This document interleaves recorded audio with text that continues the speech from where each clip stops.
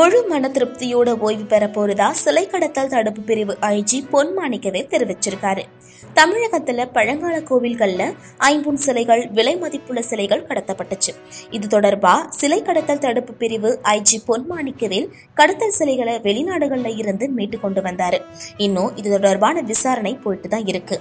இந்த விவகாரத்துல பெரும் தலைகள் சிக்கும்னு எதிர்பார்க்கப்பட்ட நிலையில பொன்மாணிக்கவேல் இன்னையோட பணி ஓய்வு பெறுகிறாரு. இவருக்கு பதவி நீட்டிப்பு கிடைக்கணும்னு அனைத்து கட்சியினும் எதிர்பார்த்தாங்க. ஆனா அவருக்கு பதிலா புதிய ஏடிஜிபிய தமிழக அரசு நியமிச்சிருக்கு. சென்னை ஐசிஎஃப்ல நேற்று அவருக்கு பிரிவு உபசார விழா நடத்தப்பட்டுச்சு. அப்போ அவர் பேசும்பொழுது சிலைகளை மீட்கும் பணிகளை இளைஞர்கள் கிட்ட ஒப்படைக்கிற குற்றத்தால் பாதிக்கப்பட்டவர்களை மதிக்கணும்னு சொல்லியிருக்காரு. எஃப்ஐஆர் பதிவு செய்ய போலீசார் பயப்பட வேண்டாம். நீதிமன்றத்துடைய வழக்குக்கு மட்டும் பயந்தா போதும். குற்றம் சாட்டப்பட்டவங்க தாங்கள் அளிக்கும் வாக்குமூலத்தை ஒரு காகிதத்துல காவலர்கள் எழுத வேண்டும். அப்போது மட்டும்தான் அது சாட்சியா ஏத்துக்கப்படும். போலீசாருக்கு பெரும் கடமை இருக்கு. அதை உணர்ந்து எல்லாருமே செயல்படணும். முழு மனநிறைவோட ஓய்வு பெறுறேன்னு சொல்லியிருக்காரு ஐச்சி பொன்மாணிக்கவேல்.